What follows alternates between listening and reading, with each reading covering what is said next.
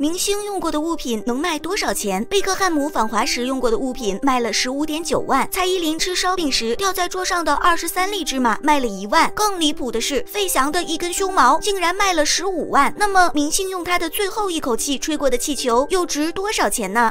今天是女孩小美的生日，她身患重病，时日无多。大明星为了树立形象，特地过来慰问。妈妈是她的头号粉丝，拿起相机就开始录像。大明星也不忘目的，提醒妈妈，视频录好了就发给她。为了给小美整活，大明星拿起气球，一个劲儿的死命吹。平时吹的牛皮都不知多少个，就一个气球，居然还吹不动。眼见气球吹好，大明星却突然嗝屁了，真是整了手好活儿。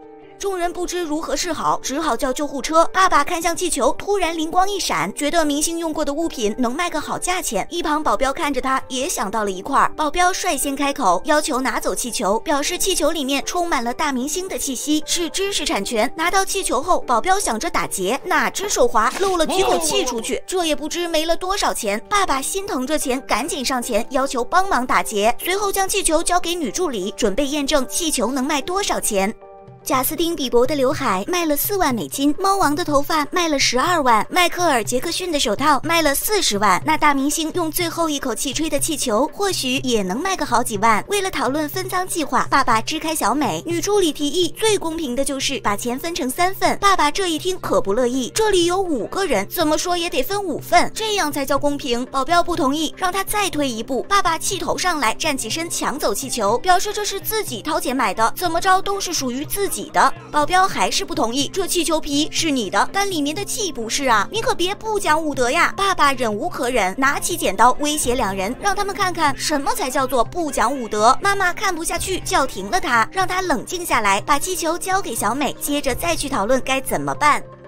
这是个人气鼎鼎的大明星，吹个气球却把自己吹死了。他在来探望小美的路上，还在抱怨这种破事就不该自己来做，这让保镖对他没有好感。只听见一声爆炸，两人赶忙出去查看，好在气球完好无损，他们才缓了口气。爸爸表示应该保护好气球，他带着慈祥的微笑想拿走小美手上气球，小美却死抓住气球不放。经过一番眼神搏斗，爸爸才抢过气球。他捧着气球上楼，保镖在身后护着，最后把气球放在床。床上盖上被子，圣火这才成功传递。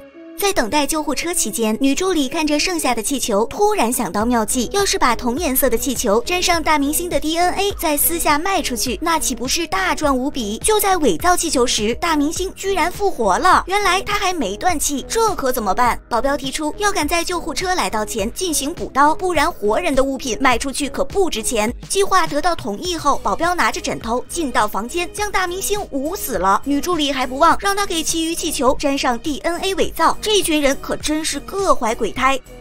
遗体被送上救护车后，众人兴奋地准备迎接自己的报复。此时，妈妈突然意识到不对劲，小美怎么不见了？原来小美已经爬上了楼，把气球用氢气球绑住，最后当着众人放飞了气球。这一下可真是竹篮打水一场空。钱不是万能的，但没钱是万万不能的。在足够的利益面前，总会有人暴露出贪婪的欲望，突破自己内心的底线。人间丑态莫过如此。好了，今天的节目就到这里，欢迎关注科幻战舰，我们下期再见。